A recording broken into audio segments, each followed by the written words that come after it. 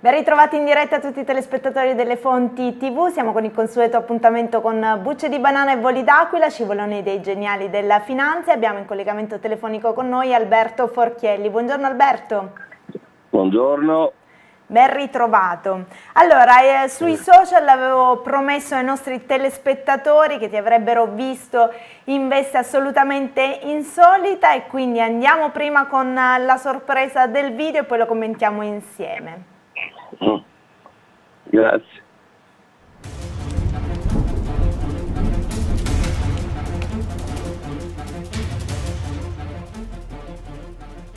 Mio fido herpes.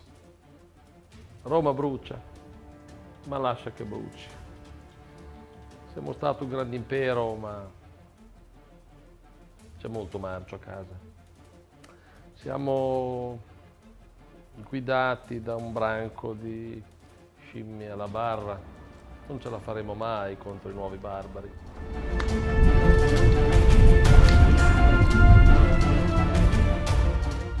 Voglio bruciare tutte le cabine di regia.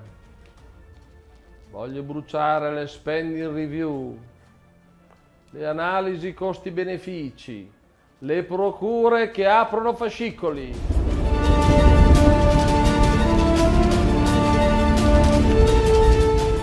Progetti Paese, Locomotiva Italia, i tesoretti, le sinergie, le commissioni d'inchiesta. Anche i cuori oltre l'ostacolo devono bruciare. I protocolli d'intesa, le luci in fondo al tunnel, i presidenti di garanzia, i prestiti ponte. Dobbiamo bruciare tutti i simulacri di un passato rovinoso. Solo così potremmo rinascere con mio fido Herpes.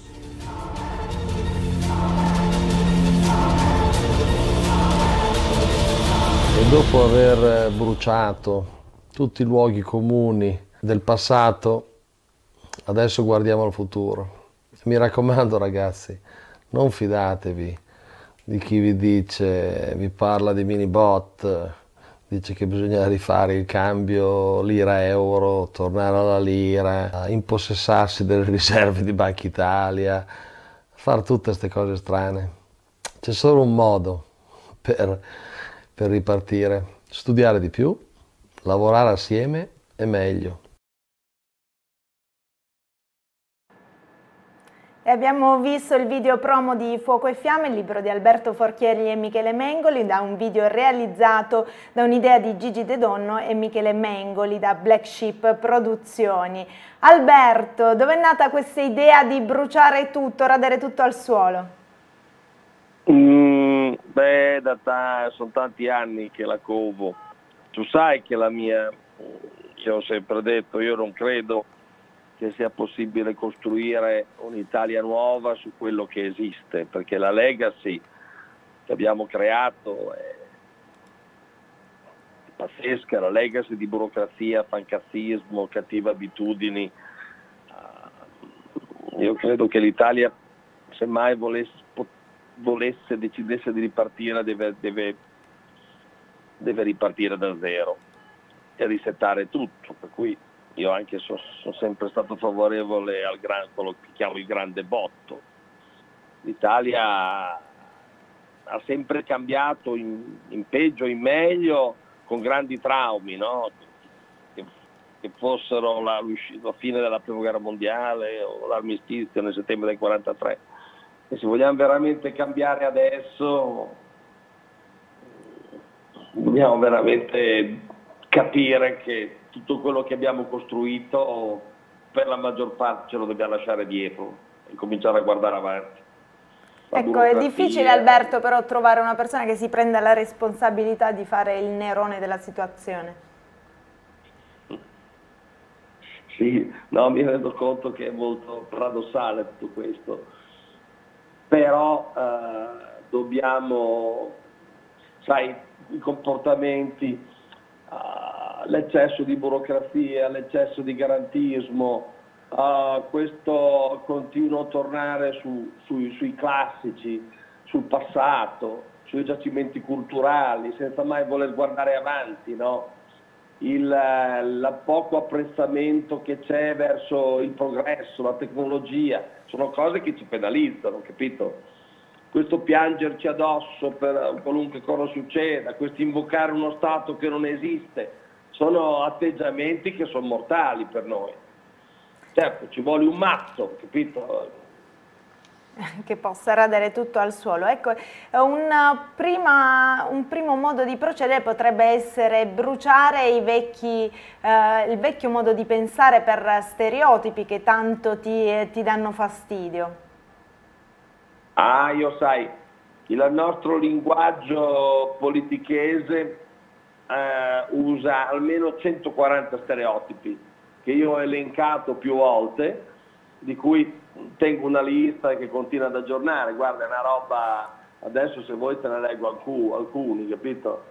Aspetta, Chi c'è in cima alla lista? Quali sono quelli che sono in cima a questa oh, lista? fare sistema, cabina di regia, spendi review, gli immigrati ci pagheranno le pensioni, fidatevi dello Stato, siamo pieni di eccellenze, progetto paese, aprire un tavolo, locomotiva Italia, la politica non ci lasci sola, tavolo di concertazione, tesoretto, tutti a Bruxelles a battere i pugni sul tavolo, fare sinergia, eh, protocollo d'intesa, commissario di ricostruzione, faccio un passo indietro, prima gli italiani, facciamo rete, fanalino di coda, il turismo è il nostro petrolio, interlocuzione con i nostri partner, Mamma Lucia, papà Giuseppe, video shock, riempire le piazze, madre coraggio, il bel paese, scendere in campo, buttare il bambino con l'acqua sporca, lo stato dell'arte, riscossa al mezzogiorno, stiamo rubando il futuro ai giovani, sono presidente di garanzia, presto ponte, sto facendo la mia squadra, ricorso al TAR, ripartire dalle periferie, la filiera, l'Italia ponte gettato nel Mediterraneo, chilometro zero, lo dobbiamo ai terremotati, radical chic, piattaforma comune, eh, gli italiani fanno il lavoro, gli immigrati fanno il lavoro che gli italiani non vogliono fare, il combinato disposto, abbiamo un obbligo morale, hanno offeso la nostra dignità, ne vuoi ancora? Se tutti no. pagassero le tasse pagherebbero meno, la lotta all'evasione fiscale è la priorità, essere resilienti, super perizie, super procura, tutto super. A mia insaputa, la manina, fate, eh, fate in fretta, costituite le idee, comitato di saggi, valorizzare le eccellenze enogastronomiche, sono serena, annunciare la ripresa, abbiamo aperto un'interlocuzione, non metteremo le mani in tasca agli italiani, governo del cambiamento, ce lo chiede l'Europa, giacimenti culturali, giacimenti enogastronomici, declinazione, declinare, accordo quadro, sviluppo occupazione, assumersi responsabilità, piattaforma programmatica. E vuoi ancora? basta, basta Alberto. Allora, ma è una, tipi- no, è una cosa eh. tipica. subito un vertice, sarò l'avvocato all'italiana, ripartire dalla base, non ci sposteremo da un, di un millimetro, questo lo dice lei, i nostri ragazzi... Facendo parte della categoria di coloro che le inventano, te ne potrei suggerire sì, anche altri. Oh, se tu leggi, tutto ruota intorno a queste 140 frasi del cazzo che non significano nulla, capito? Ma non è un modo nulla. per semplificare una realtà che ormai è veramente difficile da inquadrare. E quindi? Lo ecco. spread un'invenzione della BCE, non ci sarà patrimoniale, lotta all'evasione, taglio del cuneo, fiscal compact, le risorse ci sono, auspichiamo i migliori risultati, nel solco della libertà, i campioni europei e, e le nostre eccellenze, obiettivi sfidanti, la tenuta del paese. Non ce ne sono così tanti nelle altre parti del mondo. Cosa? Dico, è una peculiarità tutta italiana o ma anche nelle italiano, altre parti del questo, mondo? Vabbè, ma questo è un discorso da scimmia, questa è roba tutta italiana. Io Gli anglosassoni vanno per neologismi però. Come? Gli anglosassoni vanno per neologismi. Sì, vanno per acronimi, comunque sono molto più spicci. Tutta questa è un linguaggio più diretto, più compatto, ma la roba italiana non si riesce a leggere, non capisce neanche un italiano. Quindi radiamo al suolo tutti questi stereotipi e ripartiamo da dove? Sì, ripartiamo da zero, come siamo partiti eh, in settembre 43, l'Italia è distrutta e abbiamo fatto il miracolo economico. Poi dopo, poi dopo i cialtroni ci sono saltati sopra e hanno costruito un mostro.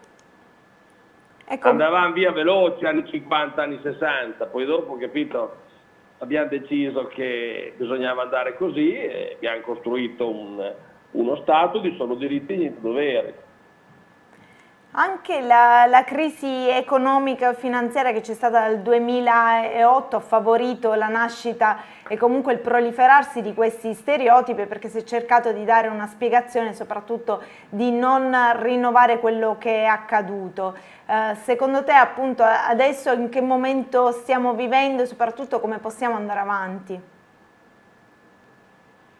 Ma adesso il momento è la fine, adesso siamo alla fine della ripresa e tra due anni dovrebbe incominciare un'altra importante recessione, per cui stiamo ancora eh, ballando sull'orlo del precipizio, se ancora il brutto deve arrivare. Comunque io penso che noi, grosso modo, no, siamo ingessati, per cui la sfangheremo ancora per molti anni, no? Poi naturalmente le strade diventeranno ancora sempre un pochino più brutte, eh, le, medici, le scuole sempre più fatiscenti, eh, gli ospedali bisognerà ormai andare con, eh, con i pasti da casa, eh, però ho capito, ci trasciniamo ancora avanti. Mm, non sarà mai nulla di traumatico in Italia purtroppo, andremo avanti. La mia esperienza in Argentina quando arrivai 40 anni fa sembrava il disastro, che peggio così non poteva andare, poi sono 40 anni che va sempre peggio. Quello mi ha insegnato che non c'è mai il il, il pavimento del peggio. Ecco, due sono i punti su cui farei... insisti spesso, il lavorare insieme, il creare appunto le, le, partnership e i distretti. Possiamo ripartire di là? Guarda, ci sono tre valori. Uno è rubare di meno, l'altro è lavorare meglio. Cioè lavorare con passione, basta macchine del caffè, basta social durante il lavoro, basta chiacchiere, se lavorate, lavorate, cazzo. Terzo, bisogna imparare a lavorare insieme, perché sto maledetto paese, questo, ognuno lavora per sé, appena uno crea qualcosa si crea il distinguo interno, capito? I nostri imprenditori piuttosto che essere mondiali vogliono fare i visconti e comprare la squadra di provincia, insomma bisogna cercare di di essere bene individualisti e di creare qualcosa insieme, ma sai, in 150 anni di storia, pubblicando di storia non è ancora successo, per cui però questa solidarietà ci fu nella miseria eh, alla fine della guerra. Dobbiamo ritrovare questa solidarietà, questo darsi una mano, perché lavorare meglio è importante, lavorare di più anche, non rubare certo che è importante, però capire che la forza dell'essere umano è la capacità di lavorare insieme ad altri esseri umani. Questo è quello che abbiamo, che gli animali non hanno, e questo che ci ha permesso nel bene e nel male di dominare il mondo. Ecco. Però noi italiani non ce l'abbiamo questa qualità e dobbiamo trovarla. Vuol dire solidarietà, però vuol dire doveri e poi magari vengono i diritti anche insistere di più su quello che è un po' il nostro patrimonio, anche di competenze tecnologiche. No, basta il patrimonio di competenze, se no tutti pensano di rifare il Colosseo, capito? No, basta il patrimonio di conoscenze, dobbiamo acquisire conoscenze nuove, dobbiamo andare verso il futuro, dobbiamo diventare più bravi nel software, dobbiamo diventare più bravi nell'ingegneria, dobbiamo diventare più bravi nella fisica col patrimonio culturale, anche l'Egitto ha un gran patrimonio culturale, però è nella merda fino al collo, capito? Anche la Babilonia ha un gran patrimonio culturale, basta questo patrimonio culturale, non perché non sia importante, ma perché ci impedisce di vedere tutto il resto che è più importante. Perdonami Alberto, non voglio ricadere negli stereotipi, però le eccellenze in Italia ce le abbiamo, però se il ma sì, tessuto... Ma sono sempre le stesse è sempre la Ferrari da 50 anni. No, no, no, no, no, io parlo dei giovani. Parlo dei giovani, parlo dei giovani, abbiamo dei giovani sì, delle, molto in gamba. sono meno come i giovani degli altri, anzi un pochino più spessati. Primo sono meno, secondo eh, ma se non li fanno lavorare in Italia, eh, ovviamente se ne devono andare dall'Italia. Eh appunto, però credimi, non sono tanti. Sono sfiduciati, spesso non hanno le, gli studi adeguati, sono molto viziati dai nonni e dalla mamma per cui non pensiamo ad avere dei giovani straordinari. Quelli che vanno all'estero se la cavano, sono, sono giovani ok, ma c'è molto da migliorare, come professionalità, come atteggiamento e come competenze. È inutile cularsi nel, nel, nel, nel sogno di averti giovani super, sono dei giovani ok che possono diventare molto meglio, ma sono proprio ok. Ecco, le, invece per quanto riguarda i paradigmi economico-finanziari, adesso stiamo vedendo anche lo spostamento da quella che è la globalizzazione che ha dominato i nostri mercati negli ultimi decenni, decenni verso un cambiamento verso il protezionismo e il nazionalismo. Anche lì dobbiamo riformulare tutto il nostro modo di pensare. Ma sì, ma certo, ma sì, tutta questa storia, ah i mercati liberi, ma no, cioè voglio dire i mercati liberi vanno bene se tutti giocano in modo corretto, altrimenti ci vogliono azioni correttive, ok? Perché capito, per non avere i mercati liberi, perché domattina la borsa non deve cadere, lasciamo che alcuni attori economici internazionali tipo la Cina facciano carne di porco. Invece non è vero, a volte i dazi possono servire.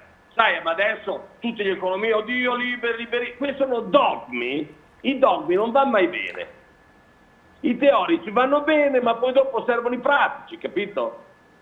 Perché se tu parli con, con un economista, gli dici, eh allora i mercati liberi, ma come facciamo con la Cina? Eh beh, con la Cina, quando dominerà, noi saremo nella merda, dopo i costi saranno così bassi che torneremo su. Ma io non voglio arrivare a quella ricetta lì, capito? Io, io non voglio arrivare a distruggere l'Italia in modo che la gente ormai lavora per un dollaro, poi dopo diventa meno cara dei cinesi e puoi riprendersi. È una medicina dura. A me tutto questo mondo dell'economia dominata dalla finanza non mi va bene.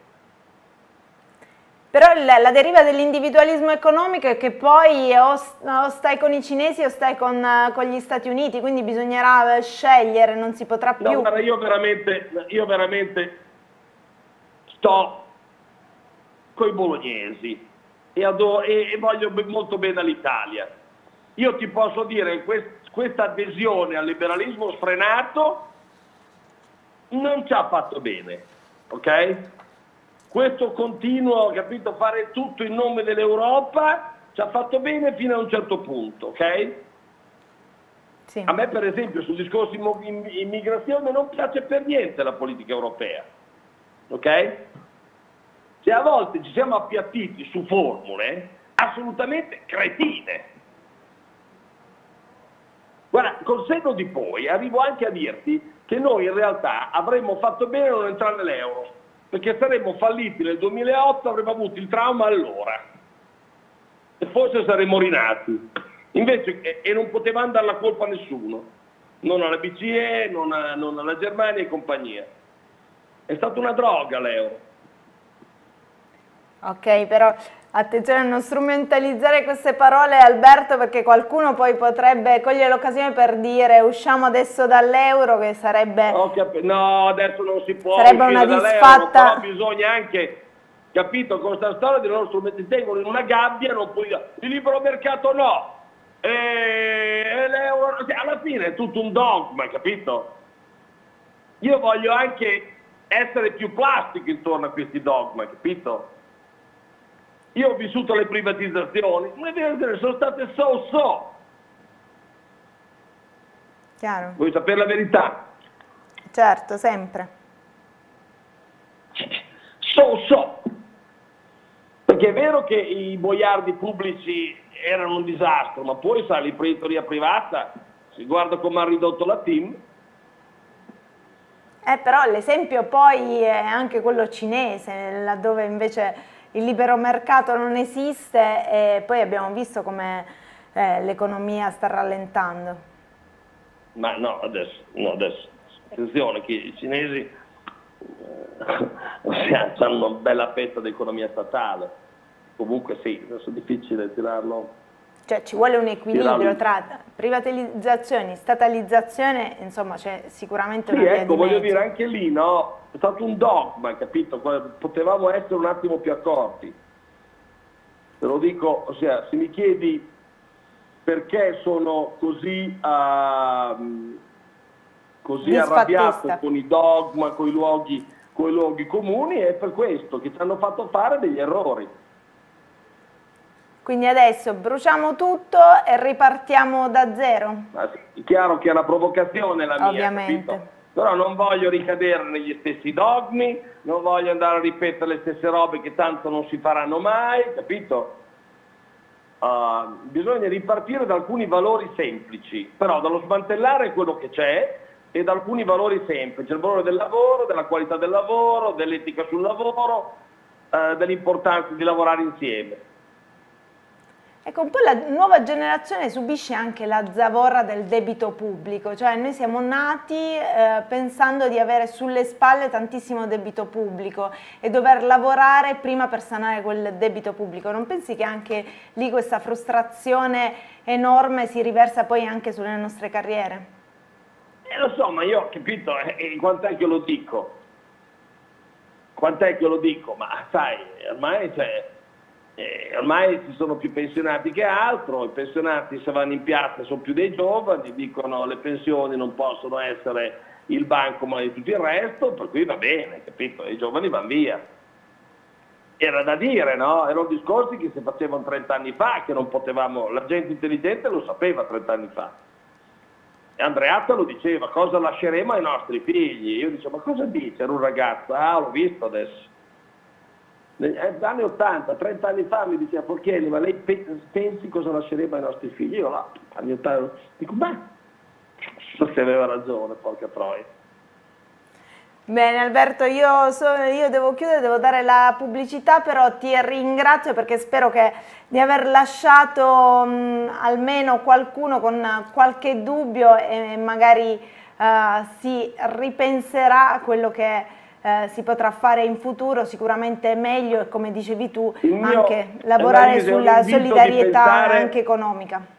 È un invito a pensare fuori dagli schemi, sia a destra che a sinistra. Benissimo. Alberto, grazie di essere stato con noi come sempre, appuntamento settimana prossima. Ciao Annalisa. Ciao, grazie. Noi ci fermiamo per qualche minuto di pubblicità e poi torniamo con l'analisi fondamentale.